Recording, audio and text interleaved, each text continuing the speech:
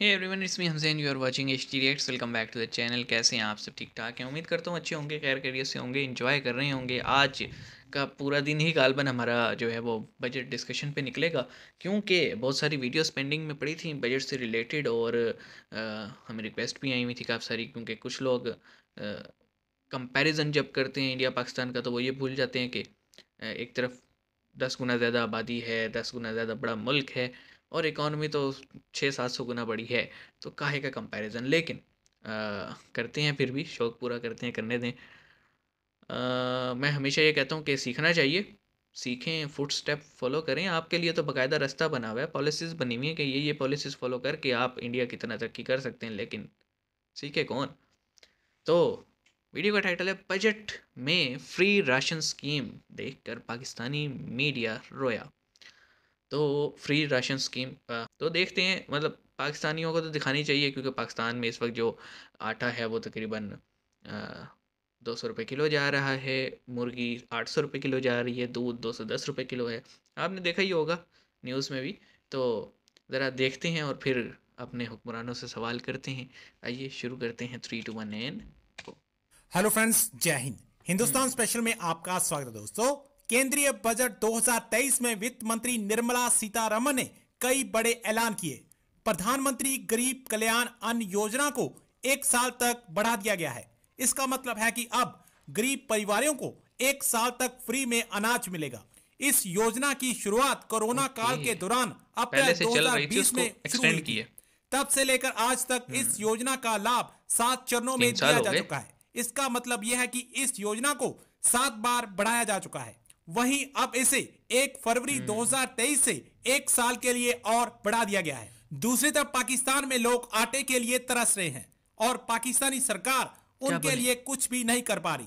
बल्कि पाकिस्तान में तो महँगाई का एक तूफ़ान आने वाला है क्योंकि आईएमएफ ने पाकिस्तान को अपनी शर्तें मानने पर मजबूर कर दिया है। आज की वीडियो में पाकिस्तानी मीडिया ने और क्या कहा तो चलिए दोस्तों आज की कैसे वीडियो की तरफ़ चलते हैं। करते हैं। so तो इंडिया में फ्री फ़ूड ग्रेन स्कीम चल रही थी लेकिन अब इंडियन गवर्नमेंट ने इस बजट में दो लाख करोड़ रुपया एलोकेट करते हुए उसे एक्सटेंड किया है एक साल के लिए। पाकिस्तान की पब्लिक से बात करूँगा कि एक साइड पे 80 करोड़ लोगों को Indian government free food provide कर रही है पर मंथ फाइव के जी के राउंड बोर्ड और दूसरी साइड में बाईस करोड़ की पॉपुलेशन है पाकिस्तान में। लेकिन यहाँ पर फ्री फ़ूड तो दूर की बात फ़ूड क्राइसिस चल रहे हैं पैसों का भी आटा नहीं मिल रहा। आखिर क्या वजह है? हम भी अपने आप को एग्रीकल्चर कंट्री कहते रहे हैं और अब भी यही कहते हैं कि पाकिस्तान एक एग्रीकल्चर कंट्री है लेकिन हम यहाँ पर फ़ूड क्यों नहीं प्रोवाइड कर रहे? इंडिया इंडियन गवर्नमेंट ने एक स्कीम निकाली है। ऑलरेडी चल रही थी अभी उन्होंने फिर अपने बजट में उसे मजीद बढ़ाया है कि 80 करोड़ लोगों को फ्री फ़ूड वो देने जा रहे हैं यानी कि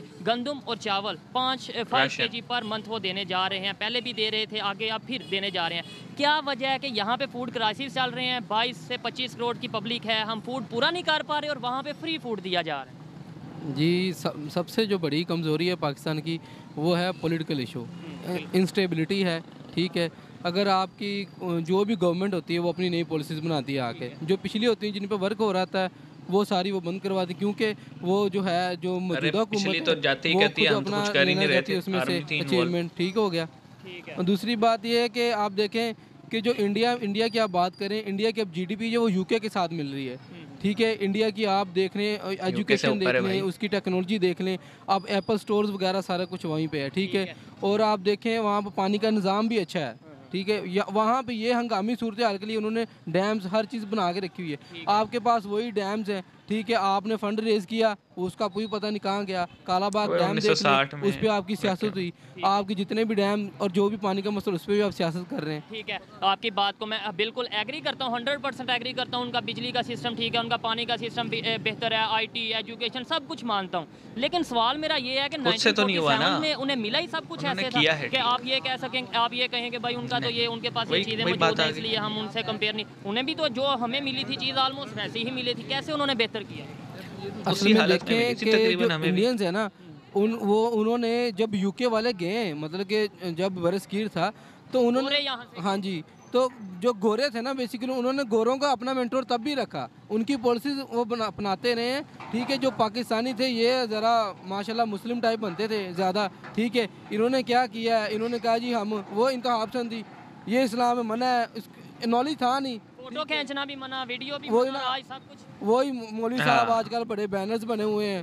टच मोबाइल है सारा कुछ है उसमें। अच्छा, अच्छा वो भाई कह रहे हैं पाकिस्तान को बुरा मत कहे मैं हम बुरा कहने का मतलब ये होता है या क्रिटिसाइज करने का मतलब ये तो नहीं होता कि हम पाकिस्तान को नीचा दिखा रहे हैं। असल में ये ये हाँ। जज्बाती मकसद होता है कि आप अपने अंदर तब्दीली लेकर आए। ठीक है ना? असल में हम किसी की तरक्की बर्दाश्त नहीं कर सकते। मसला ये है हम जब कंपैरिजन करते हैं हाँ। आप स्टैटिस्टिक्स देख लें इंडिया हमसे बहुत ऊपर है।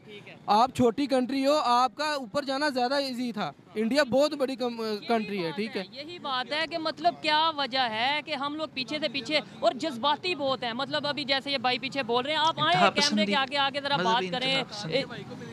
अच्छा अच्छा अच्छा ठीक है मुझे ये बताएँ वजह क्या है? कैसे अवेयरनेस आ सकती है? उन्होंने कैसे अपनी पब्लिक को बदला? उन्होंने कैसे अपने सिस्टम को एजुकेशन से। उनकी आवाम तो एजुकेटेड है ठीक है? और वो इतनी इंतहा पसंद नहीं है। वो एक वो सेकुलरिज्म भी है। अल्हम्दुलिल्लाह मुसलमान है। इसका मतलब ये नहीं है अगर कोई बंदा गलत कर देता है ठीक है उसको जी मार दो कत्ल कर दो ठीक है जज्बाती होते हैं। अब हाँ। अगर एक ने सारी उम्र दूसरे को वोट डाला है हमारे बड़ों ने तो उन्हीं को डालना है। ये बात नहीं है। सबसे पहले हमें तनकीद बर्दाश्त करनी चाहिए फिर उसके बाद कोई बेहतर कर रहा है उसे अप्रिशिएट करना चाहिए। बिल्कुल यही बात देखें जी, सवाल का जवाब शुएब भाई ने भी दिया और जो इंटरव्यू दे रहे थे, उन्होंने भी दे दिया। बात यह है कि इंडिया जो है, इतना जो आज हम देख रहे हैं कि इतना बूम आया हुआ है और एक जो है ना, तरक्की हो रही है रॉकेट की स्पीड से और यूके को भी पछाड़ दिया। मतलब यूके के लिए ज़्यादा शर्मिंदगी की बात है क्योंकि उन्होंने यहाँ पे 200 साल हुकूमत की थी और आज वो इंडियंस जो हैं, वो उनकी इकॉनमी में भी ऊपर और वहाँ पे प्राइम मिनिस्टर भी इंडियन तो ये ये बात होती है कि किसी को अपनी तरक्की से जो है ना उसकी औकात पे लेके आना ये होता है मेन तरीका।